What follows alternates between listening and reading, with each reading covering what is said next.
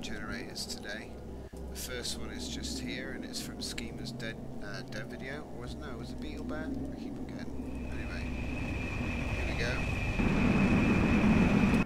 So it gives 8,393. I'm not going to give a demo on how to make this one because I found another one. 8,393 per second. If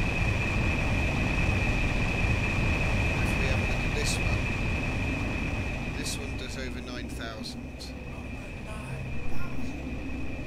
That's right, over 9,000. And I'm just going to show, this is the bottom layer. Okay, I'm just going to spin it around. Layer 1, pause it. Layer 2, pause the screen now. Layer 3, pause the screen now. Layer 4, pause it and build it. And finally the top, layer 5. Okay, pause it. Right.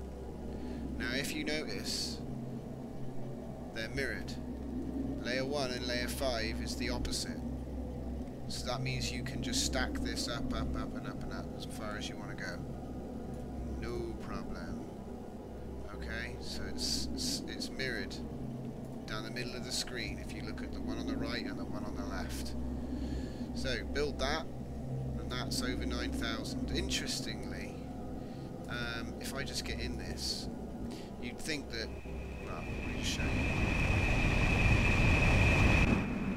If you look at the, um, hang on, where'd the ship go? there it is. Right. If you look at the stats on the uh, left, I don't know if you can see, it says uh, 1,874. So it's still giving 9,000 for each of those, even though they're not actually stacked on top of each other. Yeah.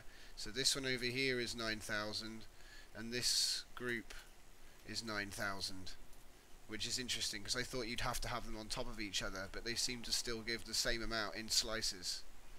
Anyway, that's interesting. So there it is. That's the best one I've found so far. So that's pretty much what I'm going to be building in, in, in my new refit. So have fun with that and see you next time.